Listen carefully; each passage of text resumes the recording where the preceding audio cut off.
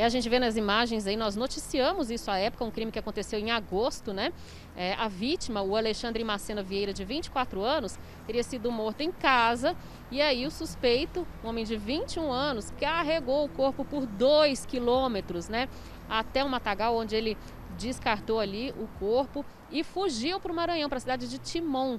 Lá ele teria ido para uma invasão onde estava escondido, foragido mas a partir do, é, do, trabalho de investigação né, da Polícia Civil, ele foi localizado, foi encontrado lá e foi preso, viu, Fred? Olha aí. Ele aparece nessas imagens, né?